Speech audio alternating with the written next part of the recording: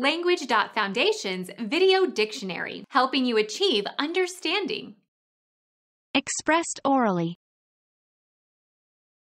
A viva voce report. Word of mouth.